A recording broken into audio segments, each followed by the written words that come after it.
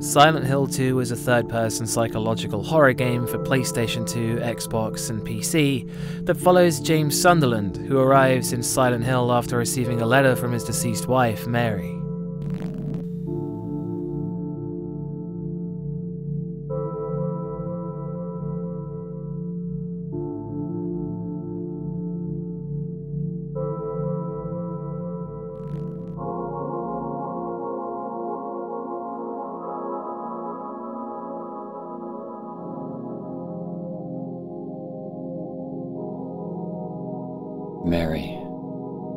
Could you really be in this town? Atmosphere. The atmosphere of Silent Hill 2 is really unforgettable. There's a murky haze to the place. Daytime in the town feels like a sad and melancholic dream, with its iconic soundtrack and intense fog making you feel like you've lost in a past you've never had. There's a loneliness to the game. The abandoned streets of the city don't feel empty because everyone has left, but feel empty because it seems no one was ever meant to be here to begin with.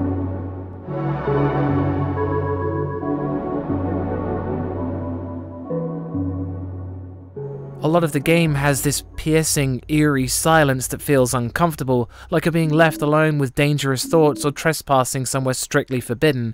The long opening walking section builds this feeling of dread in the same way that its dark and quiet corridors do.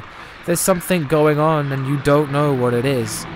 But the thing that makes the game's atmosphere so unique is the sadness and delusion that surrounds James Sunderland himself from the way he does or doesn't react to things, and the way other characters react to him. So many of the cutscenes have this awkward feeling of troubled people trying to overcome their differences without understanding what each of them is really dealing with, and the pervading feeling that this is going somewhere, that James himself is harboring the worst secret of all, and finding Mary is a constantly changing and unreachable goal for a reason. As the game progresses, you seem to dive off into the deep end, into impossible industrial areas or nightmarish landscapes of torturous designs, with rooms that make no logical sense, with James diving deeper and deeper into what feels like the corners of his mind that he'd rather not visit. The whole game resonates this vibe that what you're doing is something you shouldn't, that the events unfolding around you are the results of someone else's nightmares coming to life, and I personally felt bad for witnessing it. Unlike the first game, Silent Hill 2 is sad and haunting. It's more personal. Its strange moments feel like they have a greater meaning to them, and the most confounding thing is that everyone else makes it seem like the things that James is seeing just aren't there for them. Silent Hill 2 is disturbing. Its darkest moments are violating thoughts that come up now and then to the dreamlike surface level that is the foggy town. That's one Harry Mason.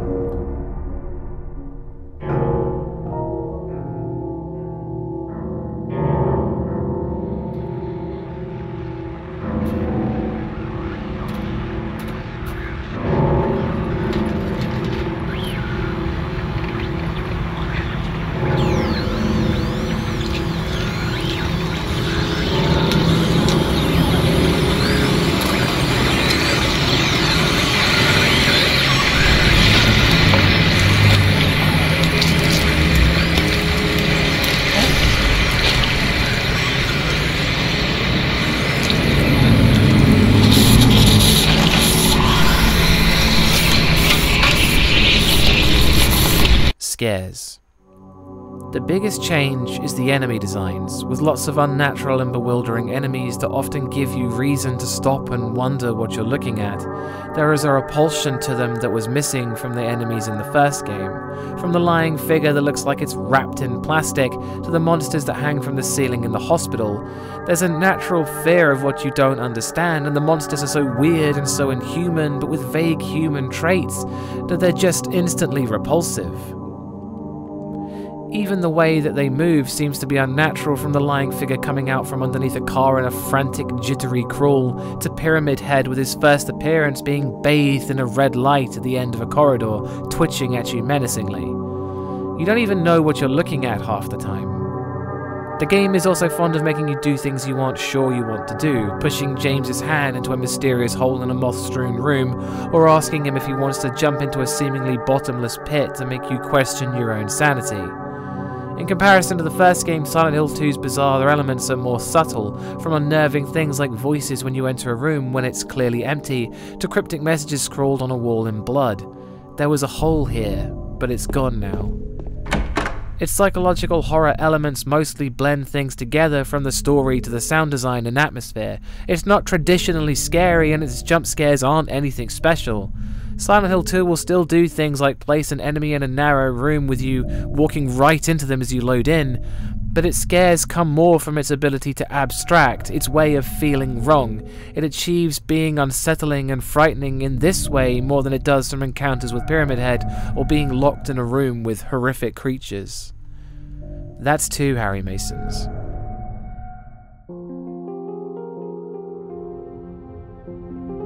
Sound design.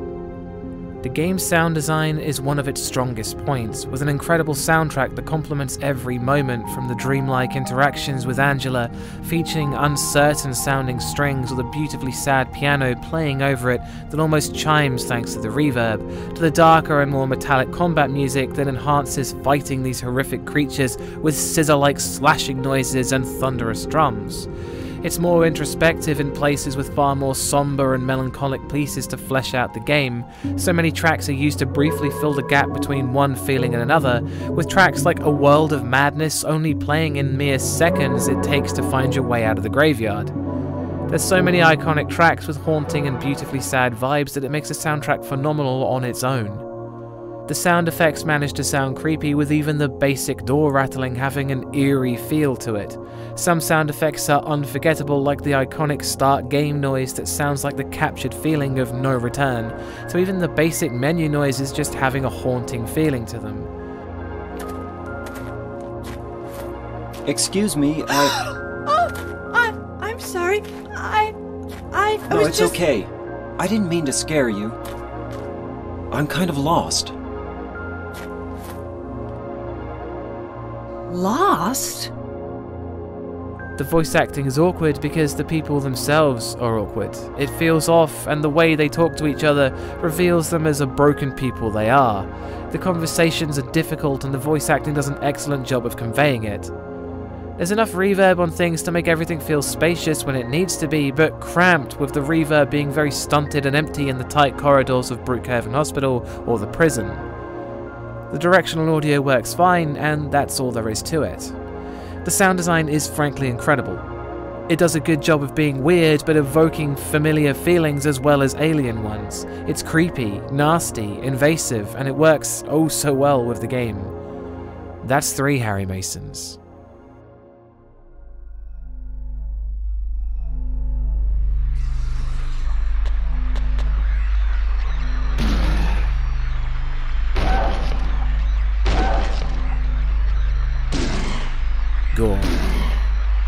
Shooting creatures generates a dark red blood cloud as they fall to the ground, and more blood pools underneath them. There's lots of things written in blood in an unsettling way, from the aforementioned cryptic messages to codes and other things smeared onto surfaces. There's only a few bodies in the game, with the most memorable one being covered in a grimy black gunk, and yet more dark blood like it was attacked and killed by something horrible. The gore isn't a focus of the game, and it rarely gets in the way or oversteps its boundaries, but it's there when it needs to be. That's four Harry Masons.